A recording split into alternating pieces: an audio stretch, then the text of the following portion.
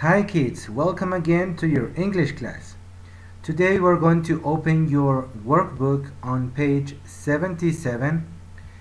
On exercise 8, it says, read the story again and match these sentences and then you number. Okay, follow this example. Number one, the children are looking for something to fly. Letter E, that's number one. Okay, it's time for, and then you match.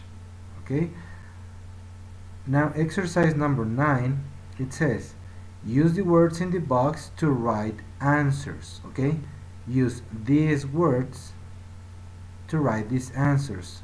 Follow this example. 1. You can fly in this. It's a helicopter. 2. You should use ropes and helmets to do this. Rock climbing. Very good. On exercise number 10, it says, find and write sentences that show the value be safe. Okay? You have to unscramble these words and you write this sentence. Number one, always stop at the red light. Two, learn to swim. Okay?